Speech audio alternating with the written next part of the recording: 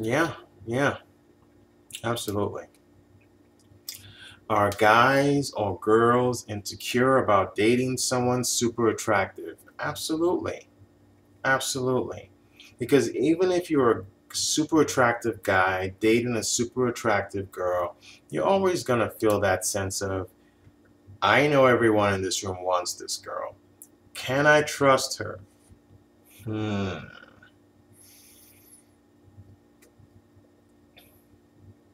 And a lot of times, this is even exacerbated when the both of you started dating just from mutual attraction, as opposed to allowing yourselves to be friends first, really going through a process where you hung out, enjoyed each other's company, and the relationship just sort of transitioned into romance.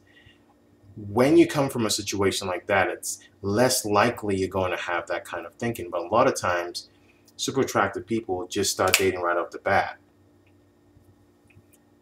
And that can create that problem. And it's the same thing when someone who's not super attractive is dating someone who is super attractive. They're coming at it from a point of the same thing. They become insecure because they think this super attractive person could attract a whole bunch of people. I know I don't meet up to their level, so how long am I going to last as their boyfriend or their girlfriend?